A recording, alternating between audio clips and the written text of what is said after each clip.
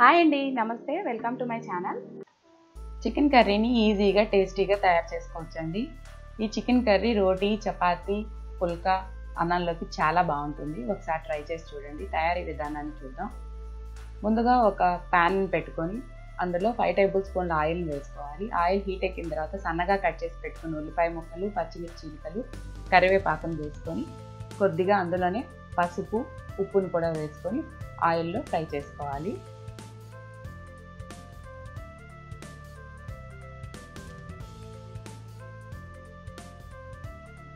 ఉల్లిపాయలు పచ్చివాసన పోయేటంత వరకు కొద్దిగా కలర్ మారేంత వరకు ఫ్రై చేసుకోండి.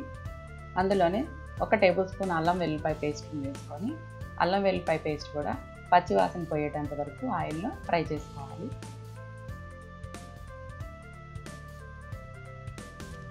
రెండు టమాటాలని సన్నగా కట్ చేసుకొని వేసుకోవాలి. ఈ టమాటాలు కూడా ఆయిల్లో మగ్గేంత వరకు మూత పెట్టి రెండు నిమిషాలు ఉడికించుకోవాలి.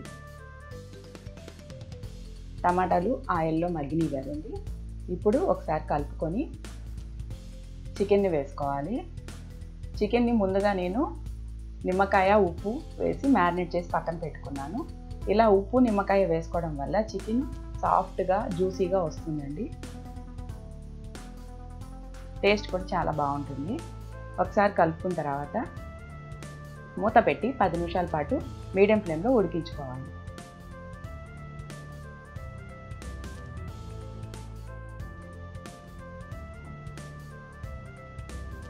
చికెన్లోని వాటర్ అంతా బయటకు వచ్చింది కదండి.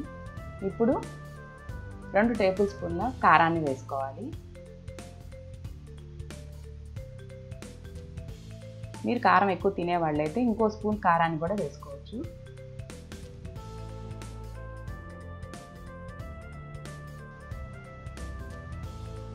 ఒక గ్లాస్ వాటర్ని వేసుకొని మూత పెట్టి పది నిమిషాల పాటు మీడియం ఫ్లేమ్లో ఉడికించుకోవాలి.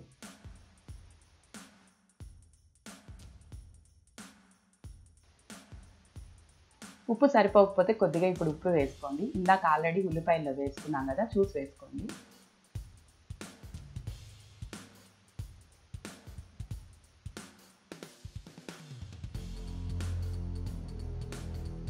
ఒకసారి మూతను తీసి ఒకసారి కలుపుకొని అందులో ఒక టేబుల్ స్పూన్ ధనియాల పొడి హాఫ్ టేబుల్ స్పూన్ గరం మసాలాను కూడా వేసుకొని మసాలా అంతా చికెన్కి పట్టేటట్లు ఒకసారి కలుపుకొని మూత పెట్టి రెండు నిమిషాల పాటు ఉడికించుకోవాలి.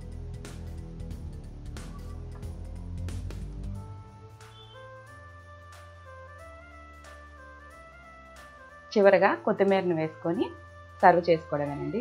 ఈ రెసిపీని ట్రై చేసి చూడండి. ఈ రెసిపీ నచ్చితే లైక్ చేయండి. మీ ఫ్రెండ్స్కి రిలేటివ్స్కి షేర్ చేయండి.